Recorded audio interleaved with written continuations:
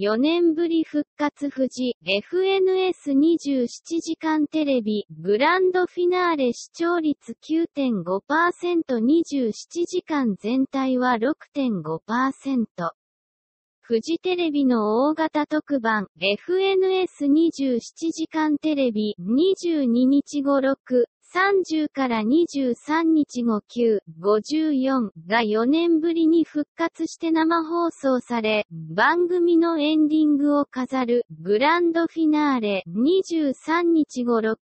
30から9、54の平均視聴率は9.5%ビデオリサーチ調べ、関東地区だったことが24日、分かった。個人視聴率は6.5%だった。瞬間最高は午後7時41分に記録した11.9%。400メートルサバイバル連チャンで、お笑いタレントのおばたのお兄さんが鬼連チャンを達成し、優勝した場面だった。27時間の放送通じての平均視聴率は世帯6.5%個人4.0%コア13歳から49歳4.6%だった。27時間テレビは1987年にスタート。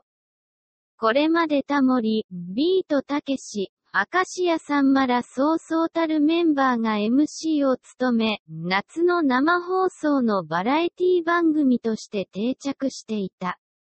ただ、2017から19年は収録形式になり、20年からは新型コロナウイルスの影響で放送が見送られてきた。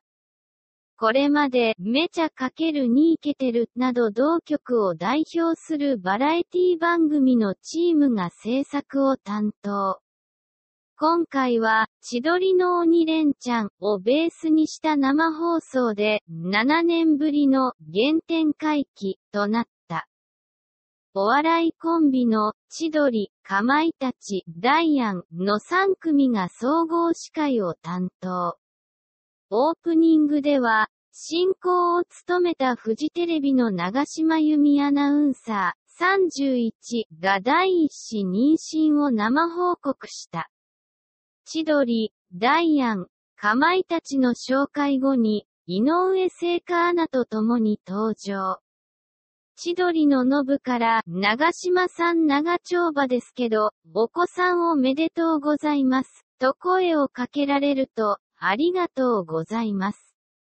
第一子を妊娠しまして、と笑顔で報告した。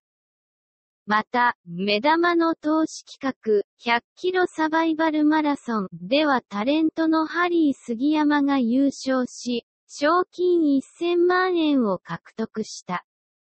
最後となるグランドフィナーレでは、千鳥、かまいたちダイアン耐久フィナーレ漫才も放送。MC3 組が1時間、ほぼぶっ通しでノンストップ漫才を展開。千鳥が大鳥を飾り、ラストでかまいたちやダイアンも合流し、最後は、ゴイゴイスーで耐久フィナーレ漫才を締めくくった。4年間の前回2019年は、史上初の11月放送で27時間を通しての平均視聴率は5.8%ビデオリサーチ調べ、関東地区。